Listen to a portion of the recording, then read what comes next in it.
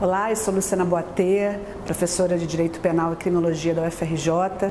Estou aqui no Instituto de Medicina Social para participar desse debate sobre drogas, usos e moralidades. É, eu trago abordagem das minhas pesquisas nesse campo aí jurídico, é, compreendendo essas políticas de drogas hoje como representativas de mecanismos de controle social que visam especificamente determinadas populações. Então é importante dizer que hoje uma escolha política para uma determinada categoria de uma substância psicoativa ilícita implica numa consequência grave para quem vai ser selecionado para o sistema penal e para hoje como se dá o encarceramento no Brasil. Então, o crime de drogas, especialmente o tráfico de drogas, é o crime que mais encarcera hoje, tem maior crescimento no Brasil.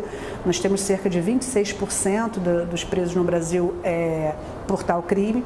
E tem uma característica também importante que a gente tem que destacar, que é o recorte de gênero.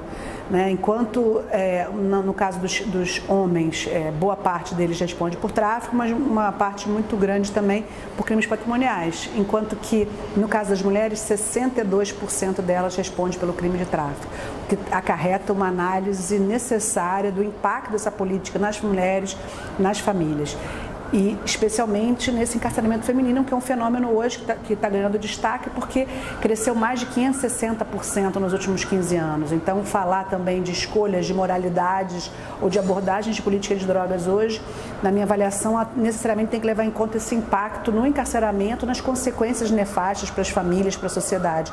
Uma política também que, por outro lado, não, não consegue reduzir é, esse consumo, é, cria um mercado ilícito e ainda tem essas consequências graves no encarceramento, especialmente encarceramento feminino.